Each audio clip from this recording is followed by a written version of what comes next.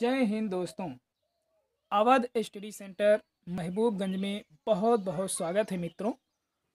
आज हम सब इस वीडियो में तार सप्तक के बारे में अध्ययन करेंगे मित्रों। यह video BEd entrance exam BTC की परीक्षा टेट सी टेट और सुपर टेट के लिए ये काफ़ी हेल्पफुल होने वाला है। और मित्रों, इसमें कोई भी वनडे एग्ज़ाम हो, यहाँ से तार सप्तक के बारे में जो है, एक से दो, तीन नंबर तक जो है क्वेश्चन यहाँ से पूछ ही लिए जाते हैं। तो मित्रों, ज़्यादा देर न करते हुए आइए, अब हम चलते हैं अपने टॉपिक पर। और मित्रों, हम इसमें ये भी बताते चलें कि जो है, यहाँ पे हम ट्रिक के माध्यम से तार सप्तक को आज हम बताएँगे और ये बहुत ही मज़ेदार ट्रिक है। तो आइए जान लेते हैं कि तार सप्तक है क्या? ये अज्ञे द्वारा जो है, रचित है, ये चार तार सप्तक अज्ञे द्वारा रचित हिंदी साहित्य जगत में अब तक कुल चार तार सप्तक की स्थापना हो चुकी है।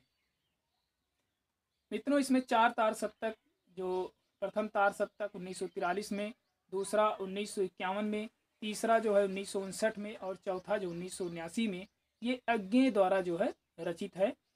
दूसरा पॉइंट है अज्ञे के अनुसार एक ही प्रकार की भाव चेतना के तार में पिरोए सात कवियों का संकलन ही तार सप्तक कहलाता है। कहने का मतलब है कि अज्ञे जी ने जो ये तार सप्तक का जो वर्णन किया है, इसमें सात कवियों का जो है समाहार इन्होंने बनाया है। अगला है, प्रथम तार सप्तक के कवियों को अज्ञे ने राहों का अनबेसी कहा है। तो इसमें जो प्रथम तार सप्तक के जो सात कवि हैं, उनको जो अज्ञे जी ने जो है, राहों का अनबेसी कहा है। और अगला एक पॉइंट और है तार सप्तक में प्रथम महिला। तो ये हैं आपके शकुंतला माथुर जी। अब हम देख लेते हैं, प्रथम तार सप्तक कब हुआ था? तो प्रथम जो तार सप्तक हुआ था, वो उन्नीस में हुआ था। मित्रों, इसमें एक चीज़ और बताते चले कि यहाँ से ये तो कभी तो पूछता ही है, लेकिन ज़्यादातर इसके सन पूछता है कि प्रथम तार सप्तक कब हुआ था, दूसरा कब हुआ था, या फिर तीसरा या चौथा कब हुआ था। तो इसमें भी ये ट्रिक के माध्यम से हम बताएँगे, जो कि फिर रखने की आपकी आवश्यकता नहीं होगी। प्रथम तार सप्तक उन्नीस में हुआ और दूसरा हुआ उन्नीस सौ इक्यावन में। अब इन दोनों के बीच में आप देख लीजिए कि कितना गैप आ रहा है। तो आप देखेंगे कि उन्नीस और उन्नीस सौ इक्यावन के बीच में जो है, आठ अगर हम ऐड कर देते हैं, यानी कि आठ का अंतर आ रहा है। तो इसमें अगर उन्नीस सौ तिरालीस में अगर हम आठ ऐड कर देते हैं तो आपका हो जाएगा उन्नीस सौ इक्यावन। फिर इसी तरह से जो है, तीसरा तार सप्तक है। उन्नीस सौ इक्यावन में यदि आप आठ ऐड कर देते हैं, यानी जोड़ देते हैं तो आपका तीसरा तार सप्तक निकल आएगा और ये उन्नीस सौ उनसठ में हुआ था। यानी कि पहला और दूसरे में, पहले और दूसरे में जो है आठ आठ ऐड कर देंगे तो आपका दूसरा और तीसरा जो है, ये आपका तार सप्तक सन निकल जाएगा। फिर चौथा बचता है एक आखिरी और अंतिम। तो उन्नीस सौ उनसठ में अगर आप 20 जोड़ देते हैं तो ये आपका हो जाएगा उन्नीस यानी कि प्रथम, द्वितीय और तृतीय में आपको जो है आठ आठ ऐड करने हैं और उसके बाद जो चौथे में आपको बीस ऐड कर देने हैं तो इस प्रकार से आपके जो है चार तार सप्तक कब कब हुए थे, आपका जो है निकल जाएगा। अब हम देख लेते हैं कि प्रथम तार सप्तक के कवि कौन कौन है। तो ट्रिक है इसका अमुने गिरा प्रभा में। तो अमुने गिरा प्रभा में आज से आपका पहले आज्ञे जी है। मुँह से आपका हो जाए मुक्तिबोध साहब जी हैं। ने से नेमचंद्र जैन है। जी से आपका गिरिजा कुमार माथुर जी, रा से आपका राम विलास शर्मा जी, प्रा से आपका प्रभाकर माचवे, और भा से आपका हो जाएगा भारत भूषण अग्रवाल। और में आपका ये साइलेंट है। दूसरा तार सप्तक के जो कवि हैं, दूसरे के, इसको भी हमने ट्रिक के माध्यम से बताने की कोशिश की है। धर्मवीर और शमशेर शकुंतला का हरण करके भागे। तो धर्मवीर धर्मवीर से आपका हो जाएगा धर्मवीर भारती और आपका साइलेंट है। शमशेर से हो जाएगा शमशेर बहादुर। शकुंतला से हो जाएगा शकुंतला कुमार माथुर और का आपका है साइलेंट।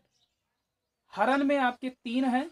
हा से हो जाएगा हरि नारायण व्यास, रा से हो जाएगा रघुवीर सहाय और ना से हो जाएगा नरेश मेहता जी। करके जो शब्द है, ये साइलेंट है।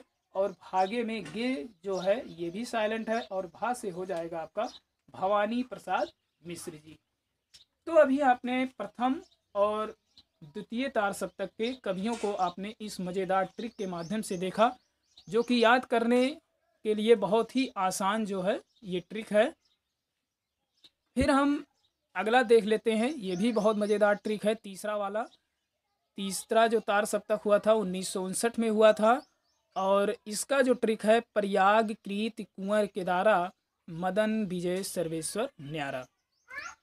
तो प्रयाग से आपका हो जाएगा प्रयाग नारायण त्रिपाठी, कीर्ति से हो जाएगा कीर्ति चौधरी, कुंवर से हो जाएगा कुंवर नारायण, केदारा से आपका केदारनाथ सिंह। मदन से आपका हो जाएगा मदन वात्सायन, विजय से आपका विजय देव नारायण शाही और सर्वेश्वर से हो जाएगा सर्वेश्वर दयाल सक्सेना। और न्यारा ये शब्द जो है आपका साइलेंट है। चौथा जो तार सप्तक हुआ था उन्नीस में, और इसके जो कवि हैं, इसको भी हमने ट्रिक के माध्यम से बताने की कोशिश की है। सुश्री ने राजे नंद को अवधेश राजकुमार के पास स्वदेश भेजा। यानी सुश्री के पास जो है राजे और नंद जो है कमाने के लिए गए हुए थे, लेकिन वहाँ वो टिक नहीं पाए, इसलिए ये अवधेश राजकुमार के पास स्वदेश पुनः भेज दिए। तो बहुत ही मज़ेदार ट्रिक है। सुश्री ने राजे नंद को अवधेश राजकुमार के पास स्वदेश भेजा। तो सु से आपका सुमन राजे, श्री से आपका श्री राम वर्मा, ने आपका साइलेंट हो जाएगा। राजे से आपका राजेंद्र किशोर, नंद से आपका नंद किशोर आचार्य, को आपका साइलेंट है।